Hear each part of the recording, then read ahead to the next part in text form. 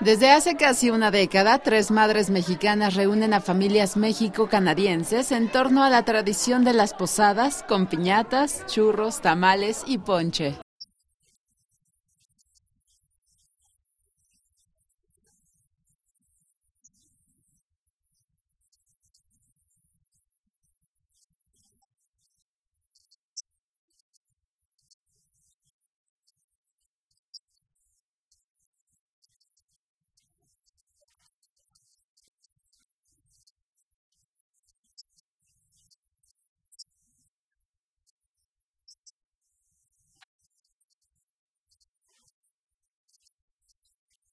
Los niños mexicano-canadienses de estas familias han aprendido y disfrutado de las posadas al estilo mexicano.